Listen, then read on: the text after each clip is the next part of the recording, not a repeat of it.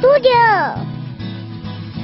Hello everyone मैं हूँ फातिमा और अगर आप मेरे बच्चों जैसे हैं तो आपको सब्ज़ियाँ पसंद नहीं होंगी इसीलिए आज एनिमल स्टूडियो में हम सब्जियों को मज़ेदार और यमी एनिमल्स में बदल देंगे आज हम एक बैंगन पेंगुइन और फूल गोभी भेड़ बनाएँगे cute है. फूल गोभी भेड़ बनाने के लिए हमें चाहिए फूल गोभी olives toothpicks googly eyes super glue और एक चाकू।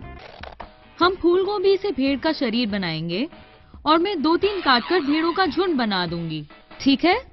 तो इसे पलटिए और छोटे छोटे फूल काटिए।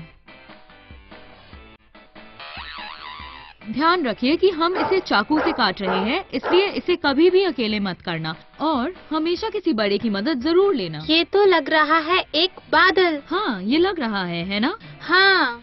ये हमारी दूसरी भेड़। जिसे मैं खींच के निकालूँगी। ये रही हमारी दूसरी वाली और हमारी तीसरी वाली. तीसरी वाली। बिल्कुल सही। तुम्हें पता है भेड़ कैसे बोलती है? बा. हाँ इसलिए हम कहते हैं बाबा ब्लैक शीप। अब हमारी भेड़ का शरीर तैयार हो गया है। तो हम अगले हिस्से पर चलते हैं जो है इसका सर।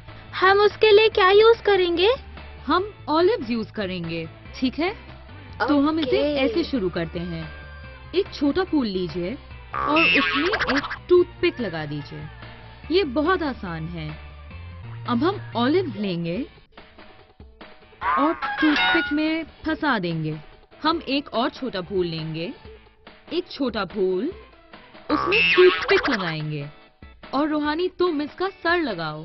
दैट्स इट अब हम ऑलिव्स पर गूगली आईज लगाएँगे। इसके लिए मैं सुपर ग्लू यूज़ कर रही हूँ। दोनों तरफ़ एक लगाया।